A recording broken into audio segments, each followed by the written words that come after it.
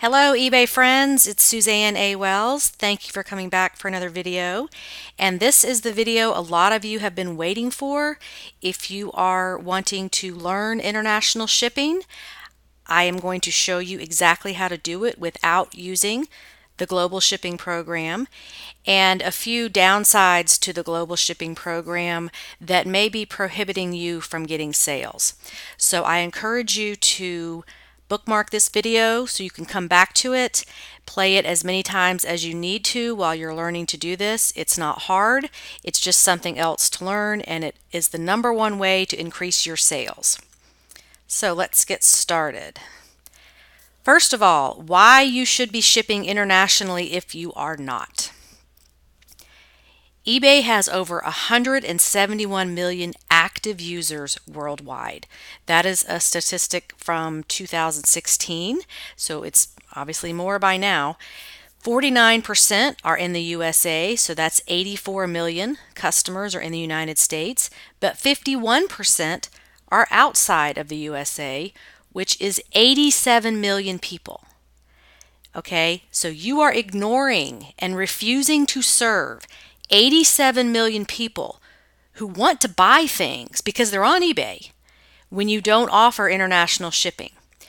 And this includes Americans living abroad. Uh, some will have APO, FPO addresses. Those are actually considered domestic, but you've got a lot of Amer- Americans living abroad who want to buy things on eBay. And so you're ignoring them when you don't include international shipping. Now, international customers have an affinity for American products, all kinds of things, stuff like jeans, certain brand names like Ralph Lauren, toys, electronics, pop culture, digital media, CDs, DVDs, health and beauty products, even food and grocery items. They want to buy things. And international customers purchase used items just as often as American customers and even more so, they recognize quality and understand that high quality items are durable and hold their value. And in a lot of cases, supply is a problem in their home country, so they look to eBay to get things cheaper. It's very expensive to buy these things new in other countries. And so they're trying to get a deal on a good quality item by looking on eBay to buy it. So just remember that international buyers are just people like you and me who want to buy things. They just live a little further away. So there's nothing to be afraid of. They're just people. Now, how did I learn all of this? Well, I had a business selling health and beauty products from Costco, Walmart, Sam's Club on eBay UK for four years. Some of us figured out back around 2007, 2008. Well, actually, I think it was 2000. Yeah, 2007. Um, that we could put things on the eBay United Kingdom site, and people in Europe would purchase them. This all started because someone figured out they could sell certain items that were not over the counter items in um, United Kingdom. So things like Desitin diaper rash ointment that you can't get without a prescription. Um, they can't get, or at the time, they couldn't get toothpaste with peroxide in it. Uh, things that are very common over here Benadryl, Tylenol PM. Um, I sold all kind of things like um, Bengay and mineral ice and all those kind of things for muscle aches and Mederma scar cream for when uh, you uh, hiding pregnancy stretch marks and just all kinds of stuff. Aveeno was a huge brand that was very popular. So I sold all these things. I had like a um, drugstore business where I was selling these things for three, four, five times the shelf price and shipping them overseas every day. So I got real familiar with how to do uh, international shipping. Now, that business died because the exchange rates fell through the floor in 2008 when everything else happened and it just was not a viable business model then amazon came along and i switched over to doing grocery and health and beauty on amazon so uh, but i did this business for quite a while, and on my blog, eBay Selling Coach, I would often talk about products that other people, you know, I couldn't do it all myself. It's like other people could do this too, and I would put products on my blog. Um, things that they were buying over there. So, like Dryel was one of them, and I also talk about that product in my video about why you should wash thrift store clothing. You can use Dryel on the um, dry clean only products. Also, stuff like lip balm, uh, just all kinds of products that sold well in on eBay UK. I was sharing that information on my blog. So that is where I got my international shipping experience. So I did sell and ship out about 300 items a week for four years, all international, and they went all over the world. And what was happening was people in other countries would go log into eBay UK and buy things, and um, so I was shipping to Asia, Australia, all over the place, even though the sales were coming off of eBay UK. So, if you are afraid of this process, let's first address your fears before we go into any information about how to do this because I know a lot of you are afraid of this. And anytime you try something new, it's natural to be scared scared of it because it's new because you don't know what to expect. So that's totally normal. But just realize this is a process that's been done thousands of times. It's no big deal. Anything that can happen, there's a solution to it. And if you're not doing it, you are really leaving money on the table. So, fear number one package gets lost. That is definitely an understandable fear because we've got packages going all over the world. Of course, you might think it's going to get lost. That's understandable. But there are solutions if this happens, and we're going to talk about that. Fear number two you will lose money. Um, you know, isn't it expensive to ship international? Well, this is the opposite. You are going to make money. Your buyers are going to pay the shipping. You don't have to worry about that. So, we're going to discuss exactly how all of that works. Fear number three is you don't really even know what you're afraid of. You're just afraid of the unknown because you've never done this before. And that's totally understandable. By the end of this video, you are going to feel very confident and know how to do this. You're going to be able to take baby steps and work into this at a comfortable pace. This is not an all or nothing thing. You can start off taking baby steps, doing a few countries at a time, a few English speaking countries at a time, and work your way into it. You don't have to start off worldwide and be totally overwhelmed. So I want you to feel confident and feel like you can do this because you can. Thousands, millions of sellers already do it. It's not a big deal. So let's first talk about why eBay's global shipping program can hurt your business. Now, this is not bashing eBay in any way. I love eBay, but sometimes they come up with things that have a downside. So I'm just educating you on some of the disadvantages of this program and why it can actually hurt your business in some ways. But eBay came up with this because they wanted to streamline international shipping. And honestly, this is something that just can't be streamlined and you know cookie cutter there's too many variables there's too many different countries to deal with and it there's just no way to really systemize it um, into one process but um, they were trying to simplify it for both seasoned sellers and for new sellers who weren't comfortable taking on that international shipping themselves. And, and that's totally understandable because I hear this all the time. And maybe you got sent to this video because you asked this question or said that you're scared to ship international. So there is a fear out there. Um, I totally understand that. Now, everything through the global shipping program is shipped priority and many items have customs fees added to them even if they're not necessary. And this is how this is part of that streamlining where eBay is trying to make one process for everything, even if it's not necessary. So that means higher costs for the buyer. And I have heard from international customers, and, and if you're an international customer, please comment on this video and uh, give us your input. But I've heard from friends I have in Australia and people in United Kingdom and other countries that they will not buy from US sellers who offer this global shipping program because it's too expensive.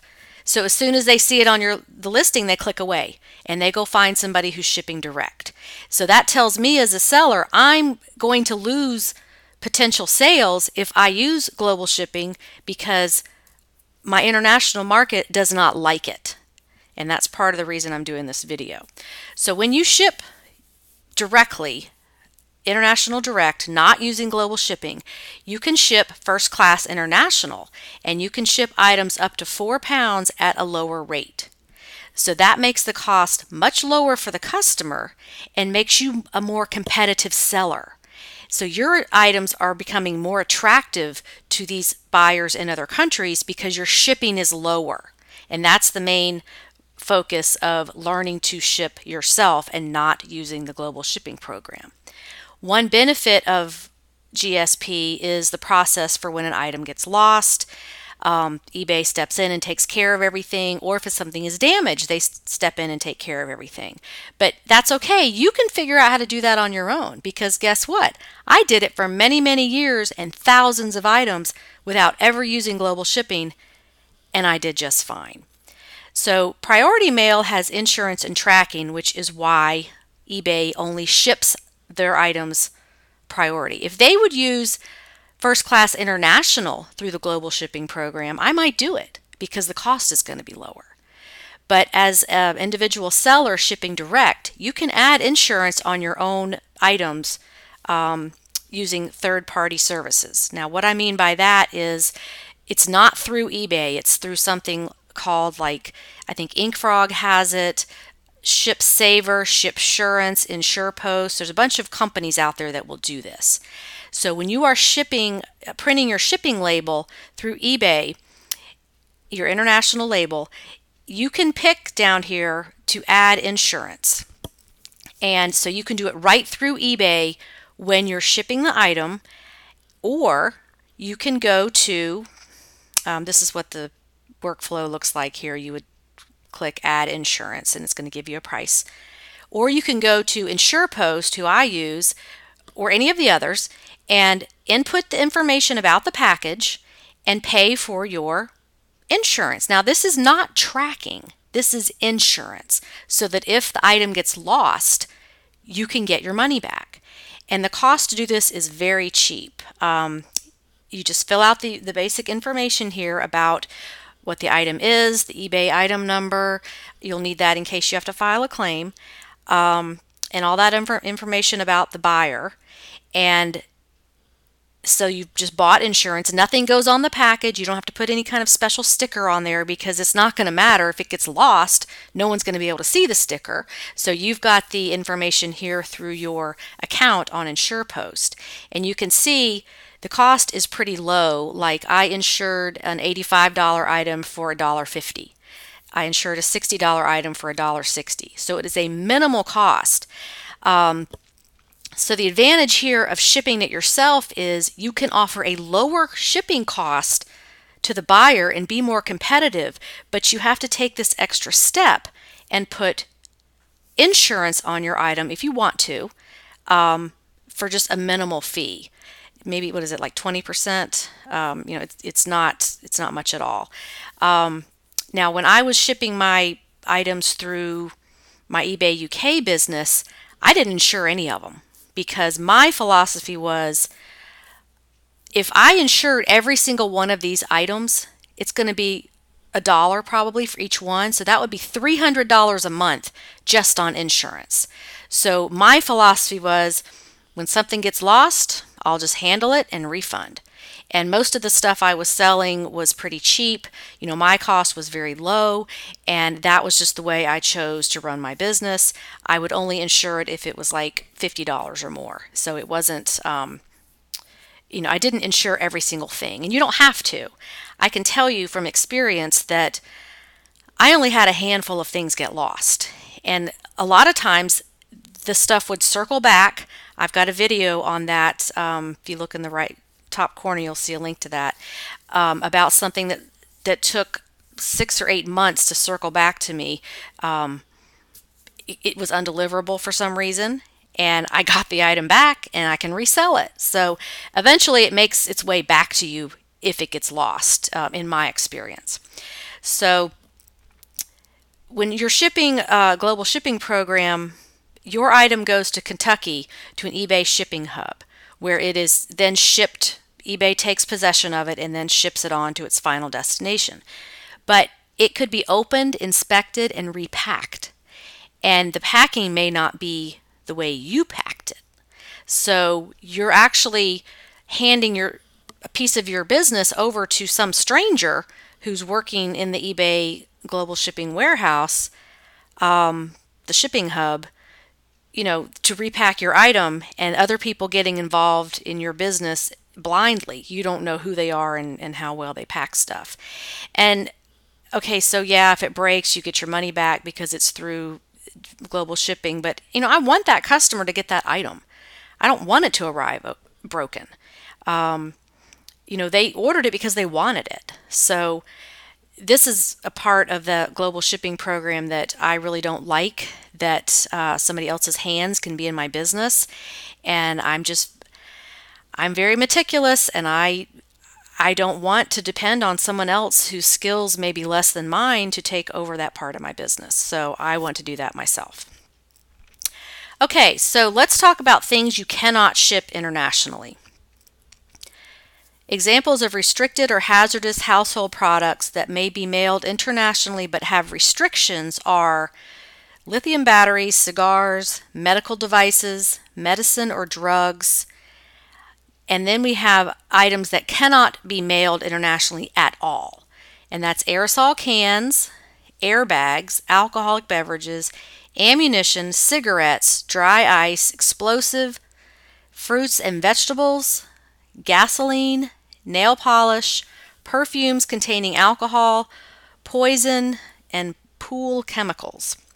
Um, so, on your perfumes and your fragrances, cannot be shipped internationally. You cannot do it at all. It can only be shipped in the United States, parcel select, it cannot go air. Um, but this is pretty much common sense. If it can blow up an airplane or explode or be dangerous at high temperatures, it should not be sent international. So, your basic thrift store stuff like clothing, toys, household decor, linens, baby items, collectibles, craft supplies, those are fine. Um, if you want more information on what cannot be shipped internationally, you need to go to the USPS website and look up by country what cannot be shipped certain places. This is very overwhelming at first because you don't know what can be shipped where. So I'm going to give you a heads up on the main things to consider here. Italy is very, very picky. Um, I just don't ship there anymore because it's too hard to get stuff in there. The reason for this is because their sales tax is very high in that country. It's like 22 to 25 percent. So the Italian government wants people to buy stuff inside the country so they can charge them that sales tax.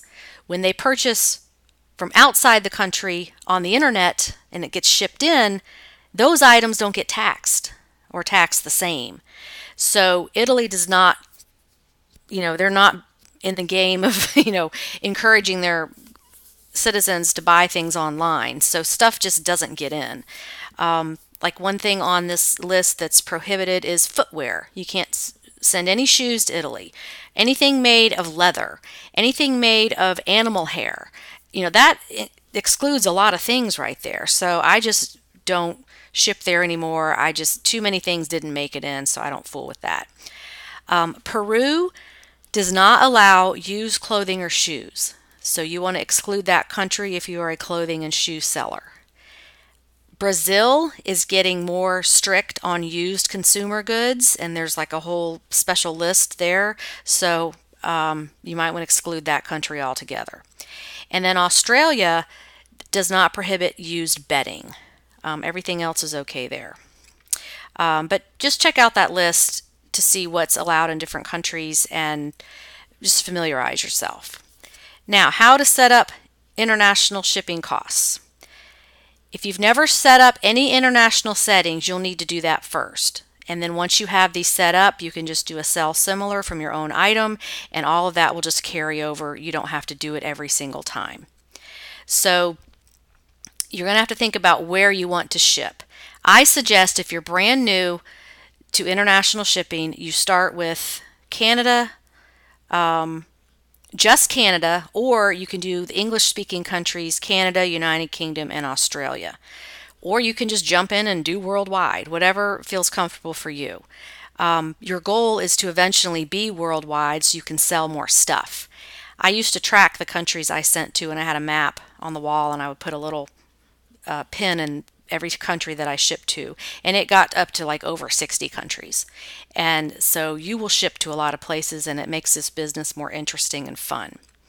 But just do what what you're comfortable with and you can always you know graduate from there don't worry about what other people are doing focus on you and how you feel comfortable doing it so you can just revise a few listings individually if you want you can just go in to the listing and um, on your listing page over to the right, there's a button that says customize. And that's going to bring up your international shipping settings. So if you've never shipped anything international, you may not have that window on your page, so you need to put it there. So you'll get a box like this where you can check international shipping and then it will it'll appear under the domestic shipping. Um, now you can set different domestic shipping from international and so you can do like free shipping in the United States and then international with calculated. Always do calculated for international. Um, I'm going to talk about that in just a minute. You're never going to do free. So if you're doing free shipping in the US, you're not going to do free shipping international. They're two separate things, and you've got to address that separately when you're listing an item. Or you can revise a whole bunch of listings with the bulk editor. Just go into your active listings, choose the ones you want to revise, and then go through that. Now, you're always going to do calculated for your international if you're new and you're just starting. Um, the flat rate stuff is very, very confusing when you're learning this, so just don't worry about that yet. You're not you're not going to charge a flat rate for international because it's not going to be fair to everybody. So somebody in Canada is going to be charged completely different than somebody in Australia or Japan because the distance is going to make it more expensive. So you're never going to do a flat rate like say you're a jewel, jewelry seller and you're putting $4 on all your items, you know, for US. That's going to work for US, but that's not going to work for international. So you've got to um, you don't want to use the flat rate like that on international, only calculated. So when you're listing your item, you're going to um, go to your international shipping section and do the pull down right there, and you're going to choose calculated. Cost varies by buyer location. Then you're going to pick your locations, and um, you can add certain countries only, or you can go in and add all of them and then exclude certain countries. But you need to think through how you want to do it. Then you're going to add the package type and there are thresholds when shipping through the USPS. Up to 3 pounds 15 ounces and under 24 inches, you want first class international. You can use priority if you want, but that's kind of defeating the purpose of not using the global shipping program. And priority prices start 30 to 35 dollars. So in most cases it's not cost effective for the buyer and they're not going to purchase your item. The whole point is of doing this yourself and shipping direct is to get to that first class international and use that lower rate. Over four pounds or more than 24 inches long, you have to use priority. So that's a different animal. Now, you can also do direct and global shipping. You can offer both options in your listing. So you can you can check that out if you have an item that is over four pounds that you want to ship through global shipping. If you want to go just straight priority based on weight, then you would choose that second option. But as a new person, um, you can always opt not to offer international on things over four pounds until you learn how to do this. And you can just choose no international shipping if it's something that you don't want to fool with shipping um, internationally. So this is how you're going to choose the first class international from the drop down here. And just, yeah, there's all these flat rates, envelopes, and different things. If you're new, don't fool with that yet. It's, it's very confusing. Okay, so then you're going to choose package type. In most cases, this will be package or thick envelope, and it's not required to fill that in, but if it's an odd shaped item, you should because the dimensions can affect the price. So just be mindful of the dimensions even though you aren't required to enter them. So this is where you're going to choose that package or thick envelope. Then you would add the weight. Now you want to add custom weight and enter the exact weight of the item. I don't advise you to, to choose like one to two pounds, two to three pounds, because when you're shipping internationally, the cost is calculated based on the exact weight of pounds and ounces. So when you go up one ounce, the price changes. When you're doing that one to two ounce, uh, one to two pound option, it's going to calculate it for the highest end of that. So your rate may be too high, and you might lose sales because you're overcharging on shipping.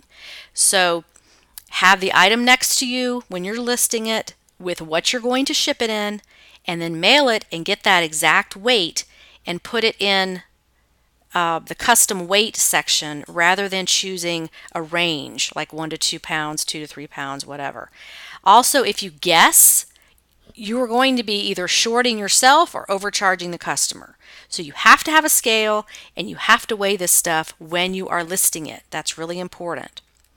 So here's where you're going to choose the weight. You're going to go down to the bottom of this drop down box and you're going to choose custom weight and you're going to put in the exact weight of the item plus the packaging. So here's your summary for setting up international shipping. If you've never used it, you're going to go to add or remove options and add your international shipping. On each item as you list it, you're going to choose calculated shipping. Um, you should already have your countries set up and unless you want to change them. You choose the class of mail, you choose the package type, enter the custom weight, and then exclude locations if needed. And then you're going to get to a screen like this. When something sells and it's time to print that shipping label, you will get a screen like this. And you'll get this red warning at the top and all you have to do is go down here to the bottom and click this little statement here that says, I have read the shipping prohibitions and restrictions, and I agree not to ship any item prohibited by the legislation or postal or customs regulations. So you just click that statement right there that you agree, basically. Then you're going to get your print label screen here, and it's going to look a little different. Um, these do not print do not print these on the two to a page labels because the bottom piece is your record. You're going to cut that off and keep that, and you're going to tape the top part of it on your package. If you print it on a two two to a page label, you're just wasting the bottom part of it. So that's why I'm saying don't do it.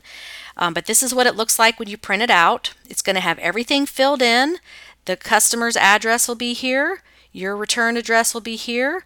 The uh, what the item is and the value of it will be on there already. And then you just go to sender signature here and sign it and date it. And then you cut off the bottom and keep that for your records. Pretty easy. Now, if you're printing your labels like this through eBay, there's a record of you printing it. So you can drop these in mailboxes. Um, give them to your postal carrier with your regular pickup. Nothing different. Some people think that you can't drop these in like the blue mailboxes or drop them off somewhere. Um, that's only if there's no record of you printing this. If you're just mailing something and sticking stamps on it to another country, uh, you know, for security purposes. But you can be tracked here. So these can be dropped in mailboxes without any problem. So, I hope this information helps you get into international shipping and helps your sales increase. Um, I hate to see sellers that aren't offering this because you are just missing out on a lot of customers who want to buy things. And we really do have such an abundance of products here in the United States, it only makes sense to make them available to people in other countries. So don't be don't be scared of this. Your customers are just people like you and me and they just want to buy stuff and they like to shop online too. So um, I encourage you to go to my eBay shipping playlist and watch other videos about shipping. Um, I will be continually adding to this, so you will have all kinds of uh, information here about how to ship things, questions about that. And let me know what you thought of this tutorial. Um, did you like it? Too much information? Not enough? Too long? Um, let me know what you think, and especially if you are living in another country and you shop on eBay USA and you've had experiences with global shipping, I'd love to hear what they are. So give me a thumbs up, subscribe, and share this video. Thanks again for watching, and have a great day. Bye.